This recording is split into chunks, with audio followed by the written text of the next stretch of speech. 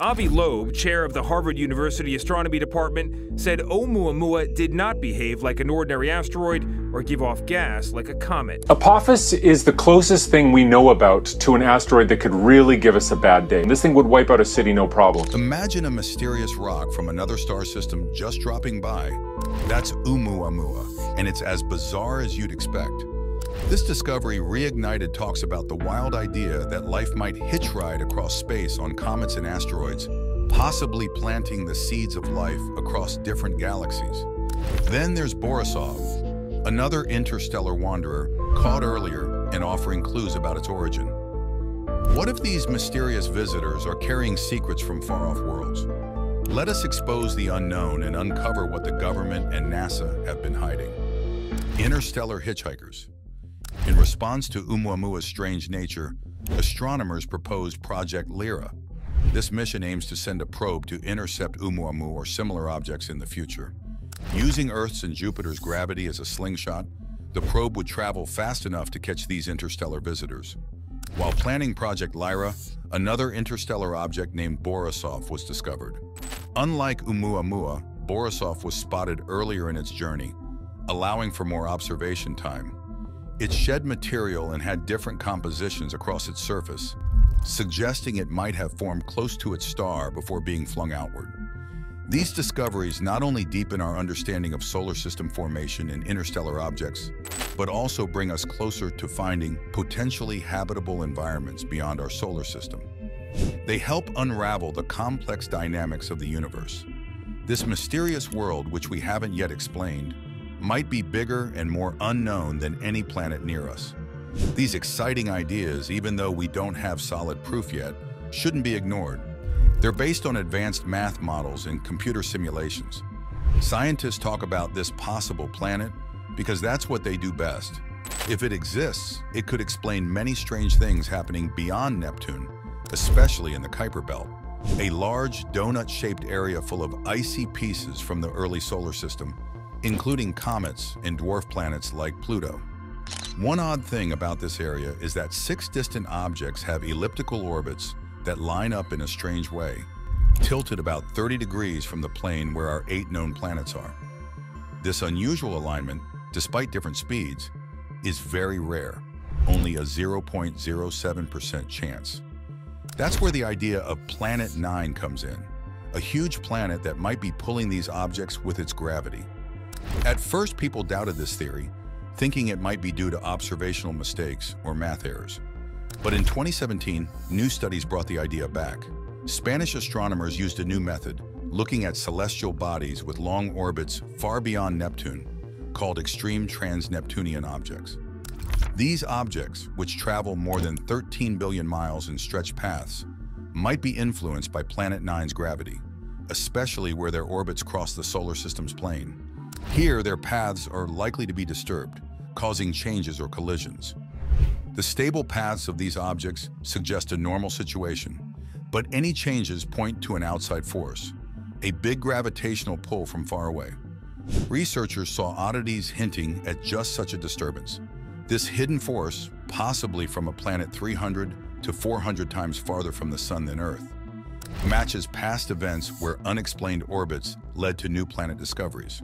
For example, Neptune was found because Uranus's orbit didn't fit predictions, but another planet's gravity explained it. Fast forward to 2021, and interest in Planet 9 has grown again. New calculations suggest this hidden planet might orbit the Sun every 7,000 years, making it easier to find.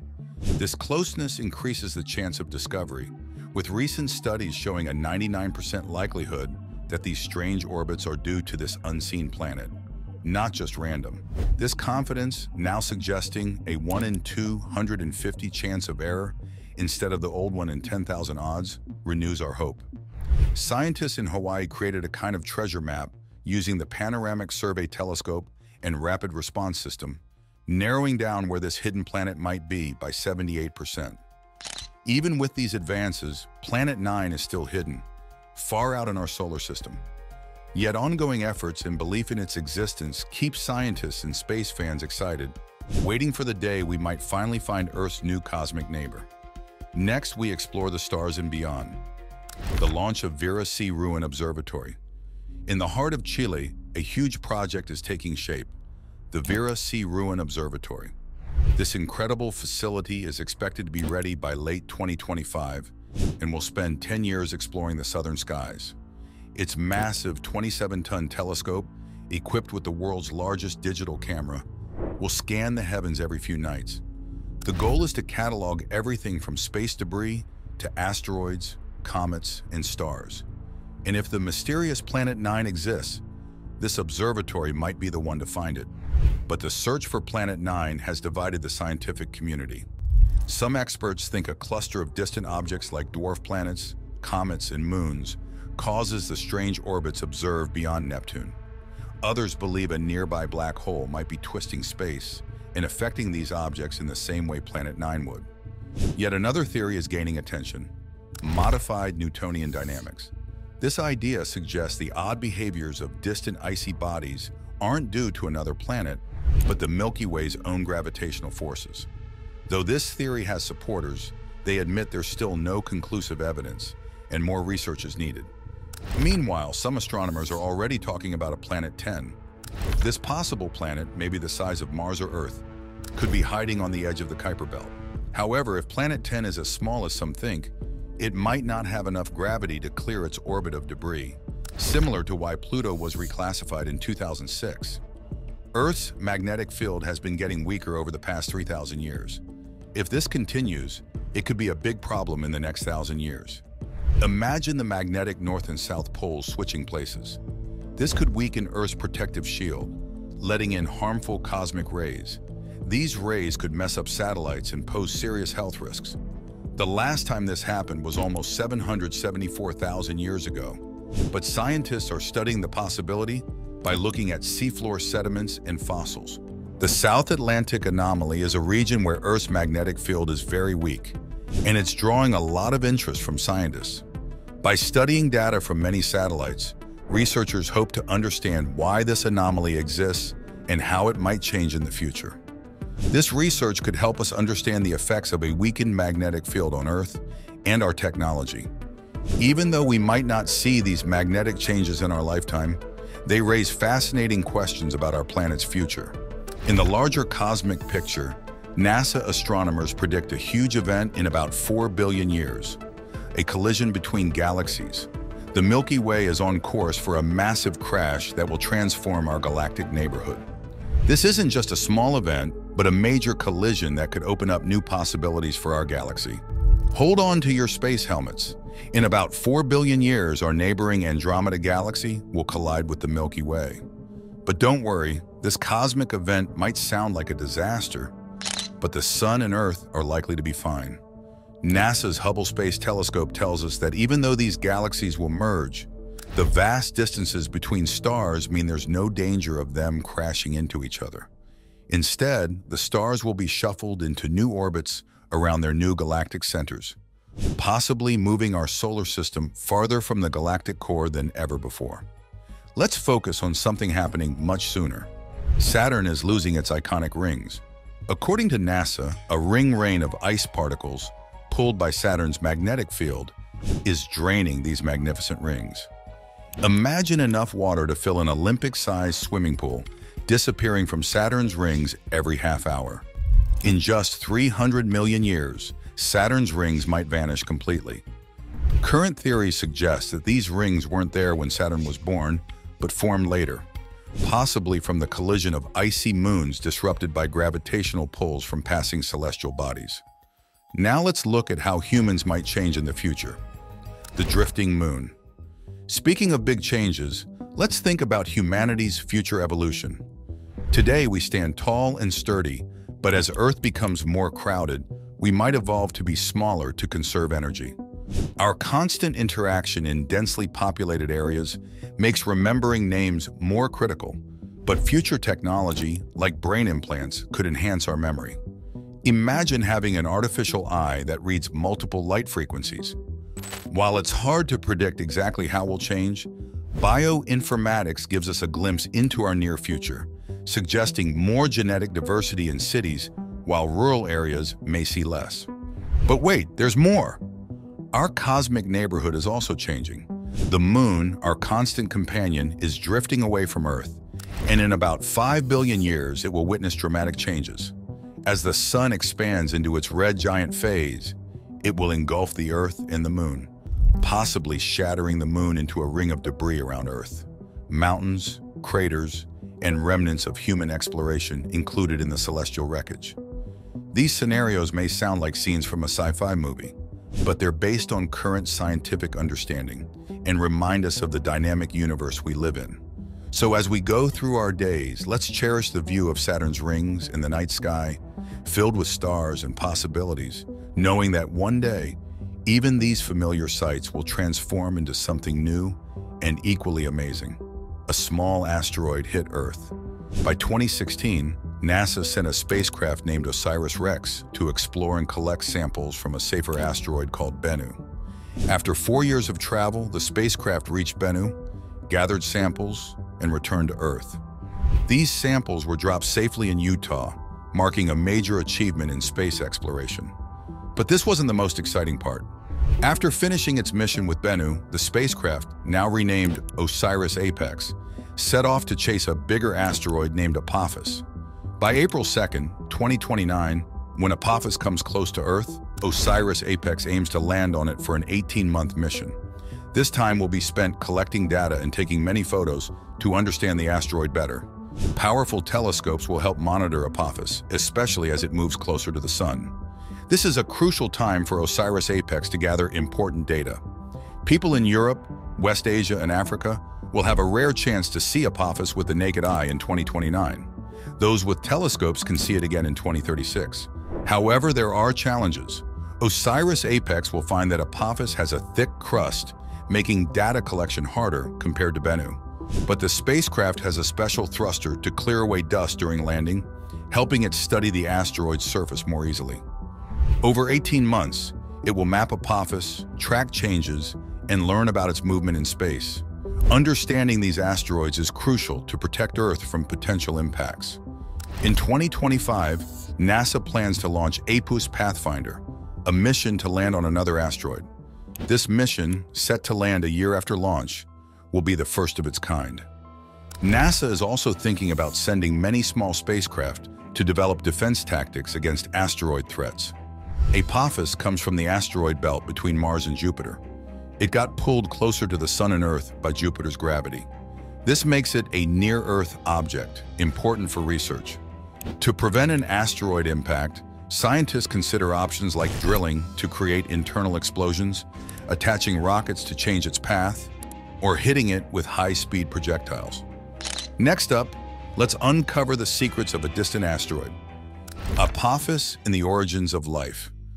You see, Apophis is an S-type asteroid made of iron, nickel, and other minerals, and it's shaped like a peanut. Studying it can teach us about Earth's early conditions and the origins of life. Some theories suggest that water and essential life components came to Earth via asteroids and comets. These space rocks are well preserved compared to Earth's changing surface, making them valuable for study. Furthermore, asteroids like Apophis may hold large amounts of precious metals like platinum, which are in high demand for various industries. Mining these materials from space is becoming more possible with new rocket technologies, though the cost of bringing them back to Earth is still a big challenge. Even though we are safe from Apophis for the next century, the question of what could happen if an asteroid hit Earth is always on our minds. The collision would be loud and dramatic, changing our planet in many ways. If you're far from the center of a disaster, don't wait. Leave your home or apartment right away. After a big disaster, expect strong earthquakes that will knock down many tall buildings. It's best to get away from city centers as they will likely suffer the most damage. But trying to drive isn't a good idea. The roads will quickly fill up with cars as people panic, making it almost impossible to travel by car. Walking or biking is much safer and more practical. If you can, think about flying as an escape route. This could be the perfect time to use that pilot license if you have one. Pack essentials like extra snacks, water, and an extra pair of socks. Usually living near the ocean is nice, but not in this case. Huge tsunami waves caused by the disaster will hit the coastlines. People living farther from the impact will have about 30 hours before the tsunami reaches them. giving them time to prepare and leave. Now, the James Webb Space Telescope is like the universe's best photographer, taking amazing pictures of stars, galaxies, and planets. If you love looking at the night sky, the JWST's photos are like a treasure chest of beautiful cosmic images. Take the Carina Nebula, for example.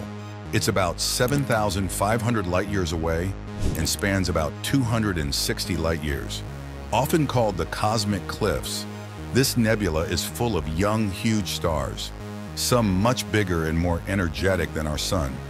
These stars light up the surrounding gas and dust, creating a beautiful sight. However, the Carina Nebula isn't just a peaceful star nursery, it's also a place for some of the universe's most violent events. Massive shock waves move through the nebula, disrupting star formation and breaking up nearby material. But that's not the end of the story. Another amazing sight captured by the JWST is Stephan's Quintet, a group of five galaxies in the constellation Pegasus, about 290 million light-years from Earth. These galaxies are in a constant cosmic dance, pulling and tugging at each other, exchanging gas and dust. These interactions often lead to galactic collisions and mergers, sparking new star formations and even supernovae. The stunning images taken by the JWST show these dramatic events, offering a glimpse into the complex relationships within this galaxy group. Moving on, we dive into the wonders of our solar system. A glimpse beyond cosmic clouds. And there's more. Let's not forget Jupiter, the giant of our solar system.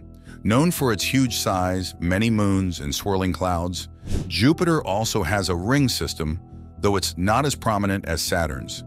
These rings are made of fine dust particles that orbit the planet. Jupiter's atmosphere is home to spectacular auroras, more intense and colorful than those on Earth, caused by solar wind particles interacting with Jupiter's magnetic field. The JWST has captured these brilliant light shows, giving us a new look at the gas giant's atmospheric wonders. In the vastness of space, we see amazing wonders like the Cartwheel Galaxy, Captured by NASA on August 2nd, this galaxy gets its name from its wheel-like shape. It's a huge collection of stars, gas, and dust, spinning outward like a pinwheel. These arms, which circle around a supermassive black hole at the center, tell the story of a cosmic crash. A smaller galaxy once collided with a larger one, causing a shockwave that shaped the galaxy's current form. Thinking about visiting such a galaxy makes you dream of an extraordinary journey across the stars. Next, we have Spiral Galaxy M74, shown to us by NASA on July 22nd. The James Webb Space Telescope had to look through thick cosmic dust to reveal this beautiful star cluster. M74 is known as a grand design galaxy because of its clearly defined spiral arms. In these arms, a lot of cosmic events happen, Stars explode in supernovas, new stars are born in clouds of gas, and glowing gas creates a stunning cosmic display. The beauty and activity of M74 show the complexity and elegance of spiral galaxies.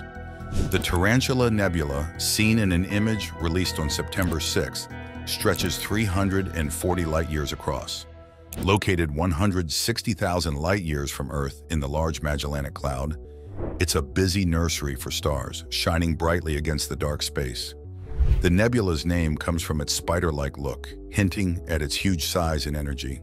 Home to some of the universe's biggest stars, the Tarantula Nebula gives us a peek into the past, showing us what the universe was like when it was young and star formation was at its peak. Then there's Neptune's rings and moons, beautifully captured in a photo published on September 21, 2022. This image shows Neptune's lesser-known rings and six moons, including the bright Triton. Unlike Saturn's flashy rings, Neptune's rings are subtle but interesting, made of fine cosmic dust. These rings, younger than Uranus's, probably formed from the breakup of an inner moon, giving us a glimpse into the active and sometimes violent processes that shape our solar system. However, the surprises don't end there. The Pillars of Creation, made famous by the Hubble telescope and shown again in a photo released on October 19th, stand tall within the Eagle Nebula. Rising about five light-years high, these pillars look like huge rock formations but are much more delicate. This area is a busy spot for star birth, where new stars form from thick clouds of dust and gas. The pillars not only amaze with their size and beauty, but also look like a grand scene from a Hollywood movie, full of natural splendor and cosmic energy. Could human activity ever directly impact these distant astronomical wonders? Share your views below. If you enjoyed exploring the celestial mysteries of Neptune's rings and the awe-inspiring pillars of creation, consider liking this video, leaving your thoughts in the comments, and subscribing for more.